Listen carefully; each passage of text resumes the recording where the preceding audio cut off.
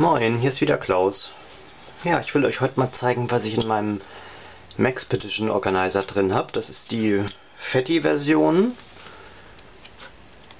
Ja, 20 mal 14 ungefähr von den äh, Abmessungen. Also passt eigentlich in jeden Rucksack rein. Ja, jetzt will ich mal gucken, was das Ding wiegt. Ja, 0 Gramm. Das kann man also verschmerzen. Spaß beiseite. Natürlich erstmal das Ding runternehmen müssen. Es wiegt 529 Gramm. Klingt jetzt erstmal viel, aber im Rucksack, finde ich, merkt man das nicht unbedingt. Und jetzt zeige ich mal, was da alles drin ist. Erstmal sind hier 20 Mark drin. Falls man mal irgendwie unterwegs äh, essen gehen muss oder sich mal Batterien kaufen muss, kann man immer gebrauchen Geld.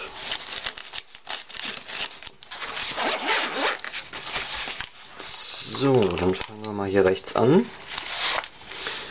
Das ist eine wasserfeste Dose mit Streichhölzern drin und Reibeflächen. Ist eigentlich ganz gut, weil es natürlich dadurch wasserdicht ist. Ich habe aber noch eine bessere Version und zwar diese hier. Die ist zugleich auch größer, vor allem dicker. Die hat aber hier schon eine Reibefläche dran. Das ist natürlich äh, gut, weil man da nicht erst das Ding rausholen muss. Falls die nass wird, sind hier auch nochmal hinter den Streichhölzern welche drin. Ja, und die Streichhölzer, das sind keine normalen, das sind Sturmstreichhölzer. Also die sind auch bei starkem Wind, wenn man irgendwas anzünden muss, eigentlich äh, nicht auszukriegen vom Wind. Da die mir nur hier für das Ding zu groß sind, habe ich die meisten im Rucksack drin. Ja, dann Kaugummis, ganz wichtig. Falls die Streichhölzer mal nass werden, ein kleines Feuerzeug. Dann für den Trangia unbestreitbar mein Favorit, weil es eben damit sehr gut angeht. Der Leitmer Fire Feuerstahl. Eine Taschenlampe, das ist die Phoenix PD32. Nachteil ist, dass die mit diesen komischen Fotobatterien läuft, die CR123A. Kommen zwei Stück rein, halten eigentlich ziemlich lange, wie lang kann ich in die Videobeschreibung euch mal reinschreiben, habe ich jetzt nicht im Kopf. Ist auf der hellsten Stufe, äh, hat die 315 Lumen, also die ist echt gut und äh, die Batterien sind halt ein bisschen teuer. Da habe ich ja bei Amazon gesehen, da kriegt man 10 Stück von den Fotozellen für 15 Euro. Finde ich jetzt eigentlich äh, preislich dann nicht mehr das Problem, das sind gerade mal 1,50 Euro pro Stück. Ja, dann äh, Paracord kann man immer gebrauchen. Das sind, glaube ich, hier 5 Meter.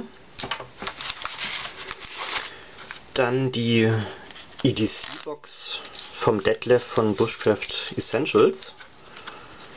Den Kocher kennt sicherlich jeder. Das Tolle ist einfach, dass man da genügend Wumms drin hat, um eine Tasse Wasser zum Kochen zu bringen für Tee oder Kaffee.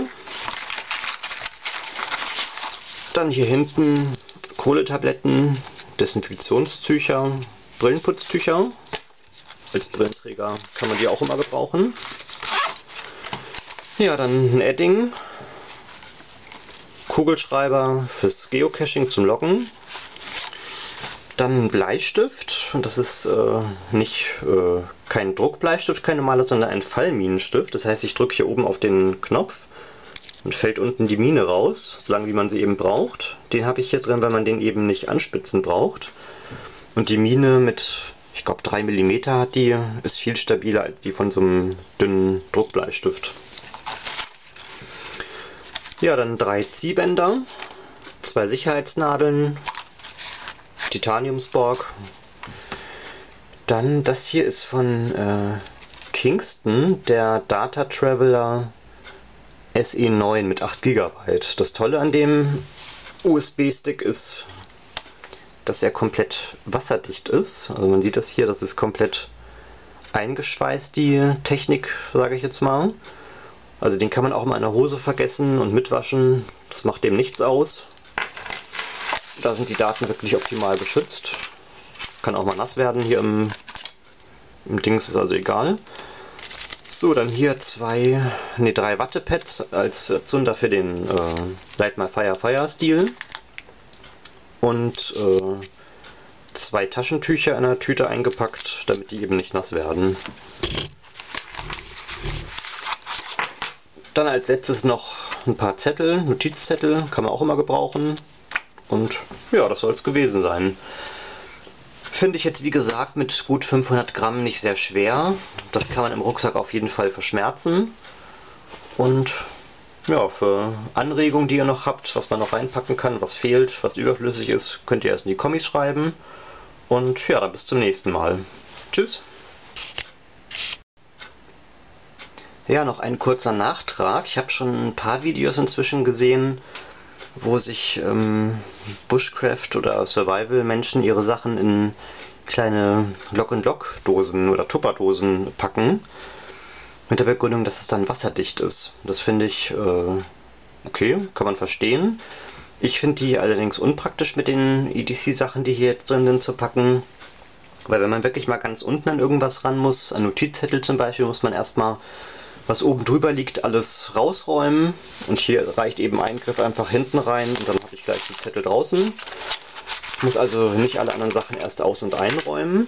Und ein weiterer Vorteil, wenn man mal das Ding aufmacht, hier ist alles fest, da kann nichts rausfallen. Wenn man mal die Dose irgendwie aufmacht und die fällt einem runter, muss man gleich alles wieder erst einsortieren und zusammensuchen. Ja, und da ich einen wasserdichten Rucksack habe, ist mir das eigentlich egal, wenn ich da im Regen laufe, weil die Sachen hier werden im Rucksack sowieso nicht nass. Das soll es wirklich gewesen sein. Bis dann. Tschüss.